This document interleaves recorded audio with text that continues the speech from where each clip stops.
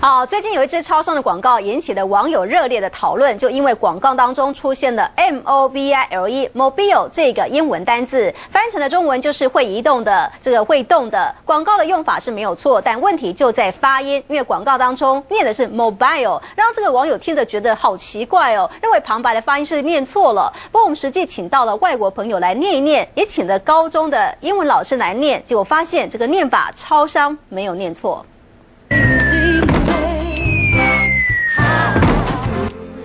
超商推电信服务，广告越打越大，但竖起耳朵仔细听。Seven Mobile Mobile Mobile M O B I L E 广告旁白念 mobile，让网友听得很不对劲。有人说广告念错了，误导观众；还有网友猛轰，真是个国际大笑话。听听看架杠诶，美国人怎么念 Mobile.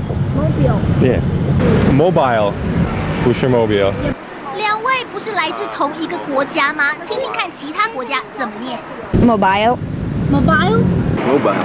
mobile mobile mobile。啊 mo mobile 越听越不飒飒，一个字出现七种发音。请教英文老师，原来 M O B I L E 正确念法是 mobile 或 mobile，但正统 K K 音标其实只限台湾地区，在欧美用的其实是自然发音法，母语不同，念法可能有差异。或者是说它只是一个专有名词，把它当成是一个招牌、名称、标语，那这个就是你，呃，就是发明者，你今天高兴怎么念就怎么念。也说，其实广告是选用英语系发音，也就是说广告旁白不一定有错，这样念。Seven Mobile 马 A 通，前提是要大家听得懂。中天新闻林志远、范新宇台北特报道。